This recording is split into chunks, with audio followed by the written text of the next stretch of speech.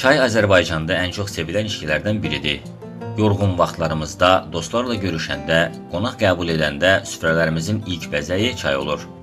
Ətirli çay yorğunluğu çıxarmaqla yanaşı, həm də sağlamlıq üçün faydalıdır. Ancaq çay qaynar içildikdə orqanizmə faydasından çox ziyan verir. Üstəlik, əgər həmin çay tünddürsə, onun zərəri 2 qat artır. Beləliklə, çay haqqında mütəxəssislərin məsləhətini sizə təqdim edirik. Əvvəlcə isə kanalımıza abunə olmağı və videonu bəyənməyi sizdən xahiş edirik.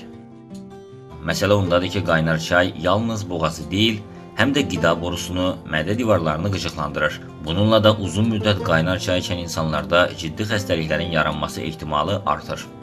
Alimlərin gəldiyi nəticəyə görə 62 dərəcədən yuxarı temperaturda olan çayı içmək mədə-bağırsaq sistemində ciddi xəstəliklərə səbəb olur. Çayın içilməsi üçün onun temperaturu maksimum 56 dərəcə olmalıdır. İsti çay qida borusunda xərçəng xəstəliyinin yaranması riskini artırır.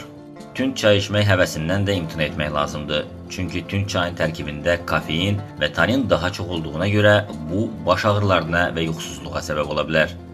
Çayın faydalarından yararlanmaq üçün aşağıdakı qaydalara əməl etmək lazımdır. Axşamdan qalmış çayı içməyin. Bir neçə saat əvvəl dəmlənmiş çayın tərkibində orqanizmə fayda verəcək heç nə qalmır. Əksinə, köhnə çayın tərkibində sağlamlıq üçün təhlükə yaradan maddələr əmələ gəlir.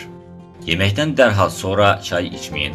Nəzərə alın ki, yeməkdən sonra çay mədə şirəsinin nifrazını kəskin şəkildə azaldır və bunun nəticəsində həzm prosesi çətinləşir. Ən azı yeməkdən 20-30 dəqiqə sonra çay içmək məsləhət görülür. Gün ərzində 4-6 fincandan artıq çay içməyin. Çalışın çaya olan tələbatınızı su ilə əvəz edəsiniz. Tünd çay dəriyə mənfi təsir göstərir. Xüsusilə üz dərisinin rəngi tutqunlaşır. Bu səbəbdən də çay dəmləyərkən onun tünd olmamasına diqqət yetirin. Quru çayın saxlanma qaydalarına riayət edin. Nəzərə alın ki, quru çay ətrafındakı digər qida məhsullarının qoxusunu və rütubətini özünə asanlıqla çəkir. Ona görə də onu quru yerdə və ayrı saxlamaq lazımdır. Bu gün biz sizə çayın faydaları və zərərləri haqqında məlumat verdik. Bu tip videoların davamını istəyirsinizsə, kanalımıza abunə olmağı və videonu bəyənməyi sizdən xahiş edirik.